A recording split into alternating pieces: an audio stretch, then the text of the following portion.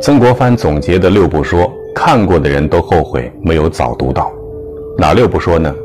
直话要拐弯说，冰冷的话要加热了说，顾及别人的尊严就是照顾自己的尊严。第二，不说闲话，来说是非者，必是是非人。嘴巴说的是非太多，内心也就会变得浑浊。第三，不说怨话。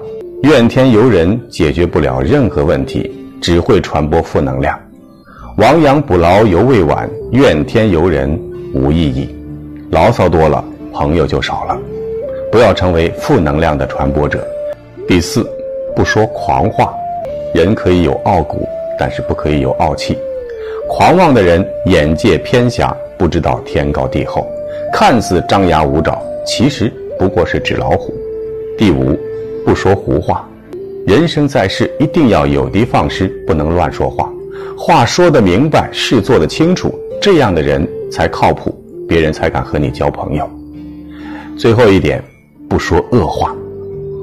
老话说：“良言一句三冬暖，恶语伤人六月寒。”佛家常讲口业，一个人每次说出伤人的话，都是在给自己造口业。